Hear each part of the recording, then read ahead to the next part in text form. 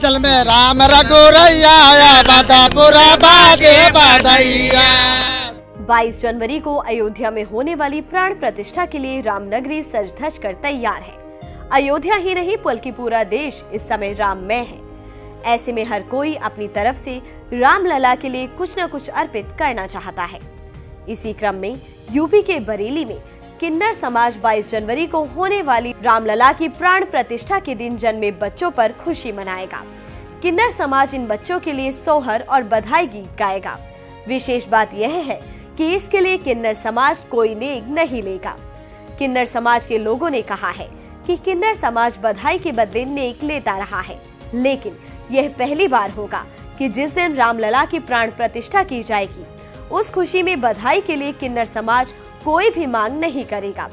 सम्मान पूर्वक लोग जो बधाई देंगे, वही ले लेंगे।